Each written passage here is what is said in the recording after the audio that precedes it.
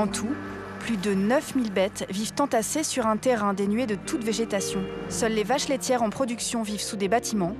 Elles se partagent quatre immenses hangars comme celui-ci. Donc là, le bâtiment, il regroupe 1000 vaches euh, au total, sachant que le bâtiment est divisé, on va dire, par quatre lots. Donc quatre lots qui font à peu près 350 vaches. Ça va faire plus d'un kilomètre de long hein, euh, de bâtiment. C'est ce à quoi va ressembler le, troupeau de 1000 vaches euh, en France, dans la même configuration de, de bâtiments euh, qu'on a ici. Dans cette ferme-usine, jour et nuit, les vaches laitières se succèdent dans cet énorme manège à tirer le lait.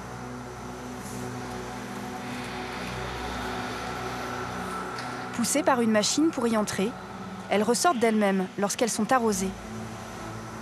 Ce système est capable de traire 80 vaches en 10 minutes, la taille d'un gros troupeau français. Et la machine tourne 20 heures sur 24. Les 4000 vaches laitières passent ici deux ou trois fois par jour. On traite 75% des vaches trois fois par jour, surtout pour leur confort. Les meilleures vaches peuvent donner plus de 70 litres de lait par jour. En trayant euh, trois fois par jour, c'est qu'on du coup on met moins de pression au niveau de la- du système mammaire et du coup ça soulage. Et là, on a la vache qui va augmenter de 10% euh, minimum sa production de lait euh, qu'elle pourrait faire par rapport à une traite à deux fois par jour. D'accord, donc c'est aussi plus rentable. C'est aussi plus rentable. La troisième traite permet aux fermiers de gagner 16 000 litres de lait par jour, 5 millions de litres de lait par an. C'est aux États-Unis qu'on a inventé le travail à la chaîne avec les usines Ford. Et cette ferme applique les mêmes méthodes. Chacun des 45 employés de l'exploitation a une tâche bien précise. Un homme pour nettoyer les mamelles, un autre pour les essuyer, un troisième pour brancher les trayons. Tout est organisé pour traire un maximum de lait en un minimum de temps. Donc ça, ce sont les vaches les plus productives. Oui, ce sont celles qui produisent le plus. Dans ce type d'élevage, les vaches américaines produisent aujourd'hui 4 fois plus qu'il y a 100 ans, jusqu'à 80 litres de lait par jour et par vache. Ce sont des animaux étonnants. C'est surprenant ce qu'elles peuvent faire. On demande toujours plus de productivité, d'efficacité, de produire plus en un minimum de temps. Il y a des banques derrière. Donc les banques aujourd'hui veulent s'assurer que l'élevage va fonctionner. Donc on met une pression énorme sur, euh, sur ces entreprises.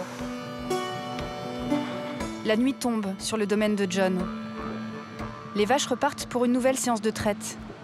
Elles ne seront libérées qu'au bout de 4 ou 5 ans de bons et loyaux services pour finir leur jour à l'abattoir.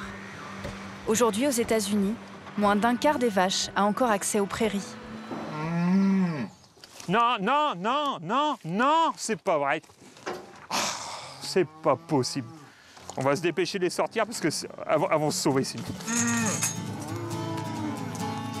Tous les printemps, c'est le même spectacle. Les éleveurs appellent cela la danse des vaches.